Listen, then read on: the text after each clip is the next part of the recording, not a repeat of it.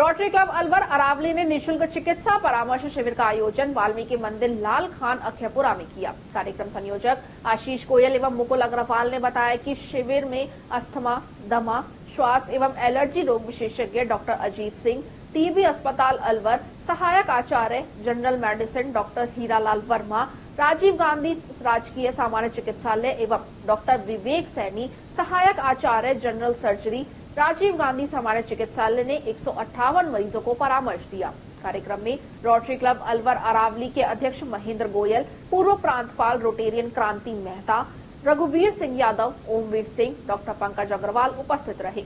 नरेंद्र सोलंकी एवं मनीष नाथ ने सभी डॉक्टर एवं रोटरी क्लब अलवर अरावली का धन्यवाद ज्ञापित किया।